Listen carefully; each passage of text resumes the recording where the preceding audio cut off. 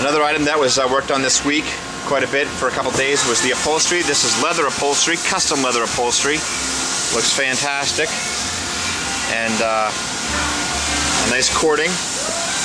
This is uh, I think it's a full hide of leather that was used for this.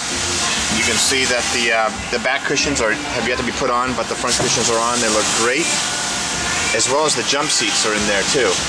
This is uh, going to match the whole interior will match up great. Other things, the yellow zinc chromate, all this stuff is going back on. That's the filler neck for the fuel tank, which is underneath the front seat. And nice, you can see the front door is painted as nicely on the inside as it is on the outside. Some companies may not run clear, they just run a base coat, but we run clear on the whole thing.